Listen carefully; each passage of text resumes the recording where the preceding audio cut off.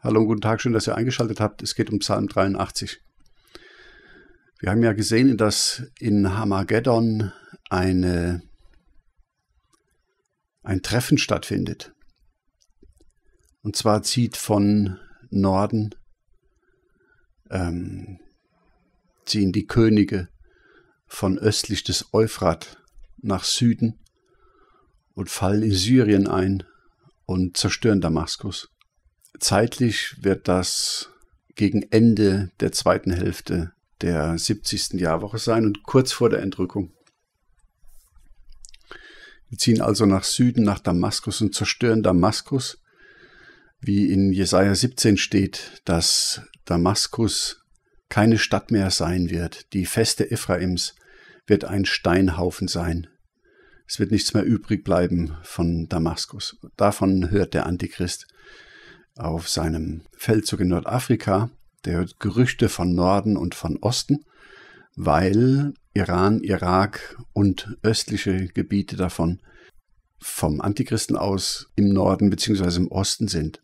Der hört also Gerüchte darüber, dass seine Hauptstadt Damaskus zerstört wurde und dass diese Könige von östlich des Euphrat sich gelagert haben in Hamageddon.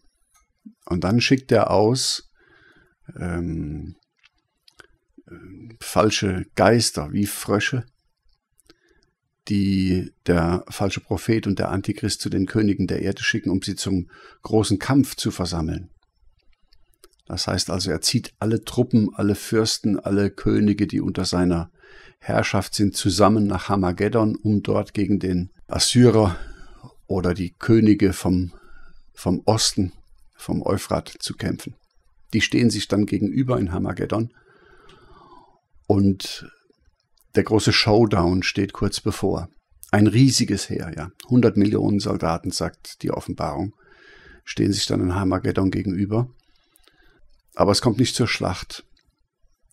Die Schlacht von Hamageddon fällt aus. In der Bibel steht nur, dass dort die Könige gesammelt werden, aber es steht nichts davon, dass dort eine Schlacht stattfindet. Und die große Frage ist jetzt, und das ist tatsächlich auch eine Vermutung von mir, welches Ereignis wäre groß genug, um diese gigantische Schlacht aufzuhalten und nicht stattfinden zu lassen. Und da würde ich die Entrückung einsetzen. Wenn die Gemeinde Jesu entrückt wird, wenn die beiden Zeugen, das Haus David und die Bürger Jerusalems, die dreieinhalb Tage, prophetische Tage, nämlich dreieinhalb Jahre in Jerusalem, unbegraben auf den Gassen der Stadt gelegen haben, wenn die auf ihre Füße treten und wenn denen gesagt wird, kommt herauf und die werden dann hinauf entrückt. Und zwar nicht nur die beiden Zeugen, das Haus David und die Bürger Jerusalems, die an Jesus Christus geglaubt haben und deswegen wiedergeboren waren und zur Gemeinde Jesu hören, gehören, sondern alle Menschen weltweit, die an Jesus geglaubt haben, alle Menschen weltweit, die wiedergeboren sind, alle Menschen weltweit, die zur Gemeinde Jesu gehören, auch aus den Heiden werden aus den Gräbern auferstehen und werden hinaufgerückt in den Himmel. Das ist so groß, so gigantisch, dass selbst dieses, diese beiden riesigen Heere, die sich da gegenüberstehen, verwundert umschauen und ähm, eigentlich total perplex sind. Und sie sehen insbesondere, dass diese beiden Zeugen, das Haus David und die Bürger Jerusalems, hinaufgerückt werden in Wolken, denn in der Offenbarung steht in Kapitel 11, und ihre Feinde sahen sie. Ja, das sind die Feinde, die sich in Hamageddon gelagert haben. Und dann zieht der Antichrist, der rückt dann von, von dieser Schlacht in Hamageddon oder diesem Treffen in Hamageddon, rückt er ab und zieht nach Süden gegen Jerusalem, um Jerusalem zum letzten Mal zu vernichten und die Könige vom Euphrat, die ziehen dem nach. Und dann ist das in Erfüllung getreten oder kommt das in Erfüllung, was in der Bibel steht, dass Gott alle Heiden, alle Völker, alle Nationen gegen Jerusalem versammeln will. Nicht gegen Israel, sondern gegen Jerusalem. Und die ziehen dann nach Jerusalem hinauf, um Jerusalem zu zerstören. Die brechen nochmal in die Stadt hinein. Da werden nochmal Menschen gefangen geführt, ähm, die sich dort verschanzt haben denn ein Teil des ähm, Volkes Israel, ein Teil der Juden, die die Entrückung gesehen haben, ähm, die geben Ehre dem Gott des Himmels, sagt Offenbarung 11. Das heißt, die fallen vom Antichristen ab, so wie Ton und Eisen nicht aneinander halten kann, und flüchten sich dann in die zerstörte Stadt Jerusalem und verschanzen sich dort und schreien zu Gott um Hilfe und um Bewahrung. Und dann bricht der Antichrist zusammen mit den Königen vom Osten nochmal in die Stadt. Da werden nochmal Menschen gefangen geführt aus der Stadt Jerusalem. Da werden nochmal die Weiber geschändet und, und ähm, die Häuser äh, aufgebrochen. Äh, das ist eine ganz grauslige Sache. Und dann kommt Jesus Christus wieder vom Öl, auf den Ölberg, vom Himmel herab auf den Ölberg. Und zwar mit der Gemeinde, um sein Reich aufzurichten. Das ist dann der Tag des Zornes Gottes. Der wird dann den Antichristen vernichten, denn in Offenbarung 11, Vers 15 steht, dass ähm, der Antichrist umkommt bei der Belagerung des werten heiligen Berges.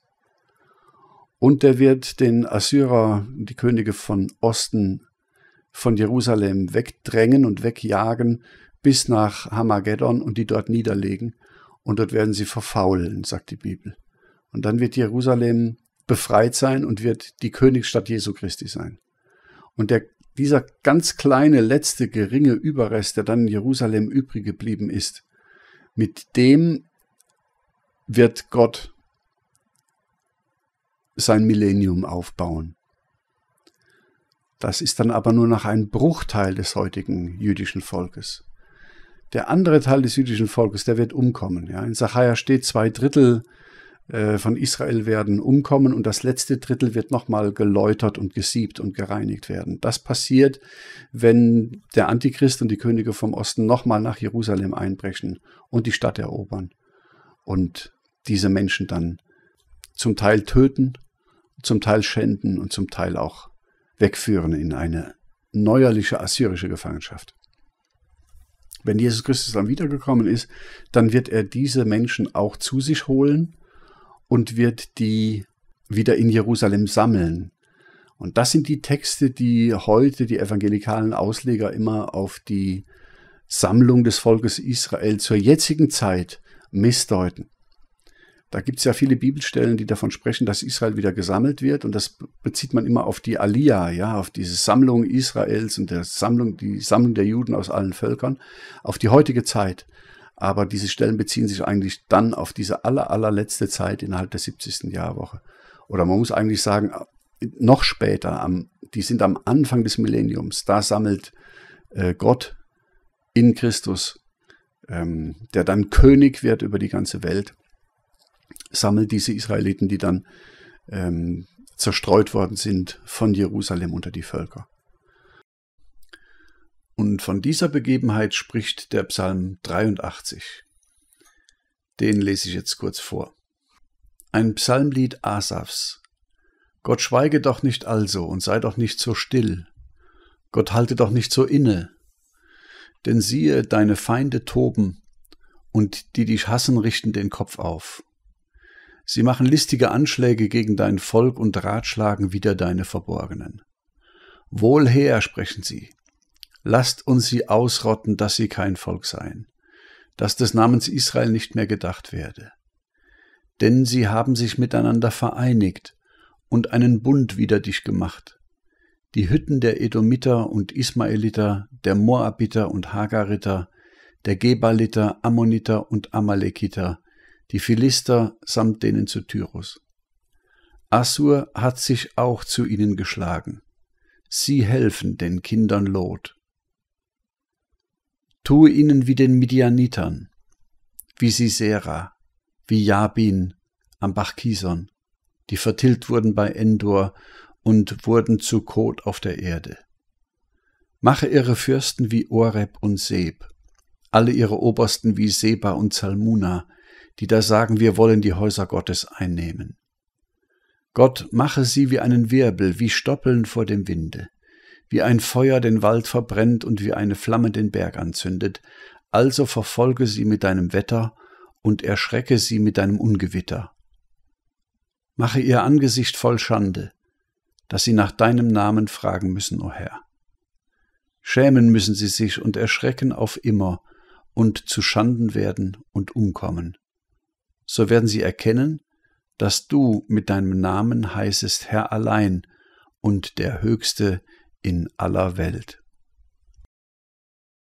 Dort steht, dass alle Völker sich versammeln gegen Jerusalem und dass auch Assur ihnen seinen Arm leiht und sich zu diesen Heidenvölkern dazugesellt. Und dann ist die Rede von Oreb und Seb und von Seba und Salmuna. Man sieht plötzlich, dass dort auch diese alttestamentlichen Pärchen wieder auftreten. Ja. Ähm, Jabin und Sisera, Seba und Salmuna, Oreb und Seb. Und in der Endzeit der Antichrist und der falsche Prophet.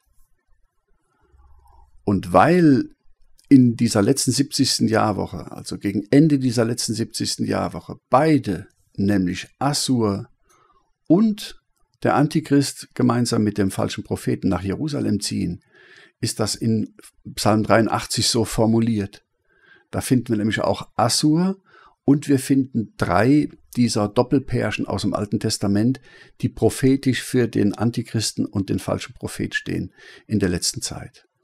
Was ich damit sagen will, ist, dass der Psalm 83 eine weitere Bestätigung ist dessen, was ich schon in früheren Videos über Hamageddon gesagt habe und über das Aufeinandertreffen der Könige vom Osten einerseits und der Heere des Antichristen und des falschen Propheten andererseits und dass diese zusammen Jerusalem belagern. Und genau das steht im Psalm 83. Ja. Genau diese Figuren findet man da. Man findet Assur, man findet alle Länder, die um Israel herum angesiedelt sind und man findet dieses Endzeit, diese Endzeitpärchen ähm, oder diese alttestamentlichen Pärchen, äh, Oreb und Seb, Seba und Salmuna etc., die ein Bild sind auf dieses endzeitliche Pärchen des Antichristen und des falschen Propheten. Also es ist frappierend, was man da sieht in diesem Psalm 83. Und da ist eigentlich eine weitere Bestätigung dessen, was wir bisher schon über Hamageddon gesehen haben. Wie gesagt, ist mir sehr wichtig, dass man das überall auch andockt an die einzelnen äh, Passagen in der Bibel und der biblischen Prophetie, damit das nicht irgendwie zusammengereimt ist, sondern dass man sehen kann, diese Strukturen, die wir bisher erarbeitet haben, die passen an allen möglichen Enden und sogar hier im Psalm 83 ein weiteres Puzzleteil, was man da zusammensetzen kann und ähm, sich so ein komplettes Bild ergibt in diesem ganzen endzeitlichen Reigen, den wir haben. Ja? Also mir ging das, das ist praktisch eine Beweisführung, die ich hier mache und auf, zeige auf dem Psalm 83 und sagt, seht mal, in diesem Psalm sind genau die Strukturen erwähnt, die wir in den vorigen Videos schon erarbeitet haben bezüglich Hamageddon. Das war mal so der kleine Hinweis. Wenn ihr Zeit habt, lest den Psalm 83 mal in Ruhe und gleicht den ein bisschen ab mit dem, was wir bisher wissen über Hamageddon. Und da werdet ihr sicher sehr viel Interessantes finden, ja. Soweit in aller Kürze. Ich danke fürs Einschalten, wünsche alles Gute, Gottes Segen und bis bald.